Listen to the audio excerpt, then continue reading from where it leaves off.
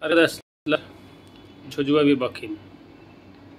Hep telefonu kullanıyor. Günümüzde çocuk yetiştirmek çok zor bir iş. Bu işte benim abimin kızı, yeğenim. Oo maşallah. Kina deseni ne kadar güzel. Arkadaşlar Hint kinası bu arada çok meşhur.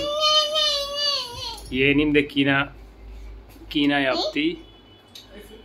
Onun annesini, onun annesi ellerinde kina deseni yaptı. Bir elinde bir tane oyuncak var, diğer elinde telefon. Do, mobil do मुझे. Şey diyorum, ver bana telefonunu ver ama vermiyor.